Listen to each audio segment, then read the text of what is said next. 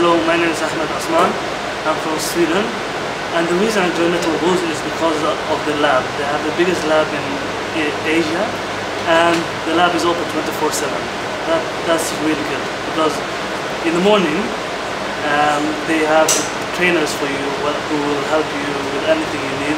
Any doubts you have, you can just ask them and they'll help you through everything. And at, at night, there are other students there which who can help you and get through stuff together.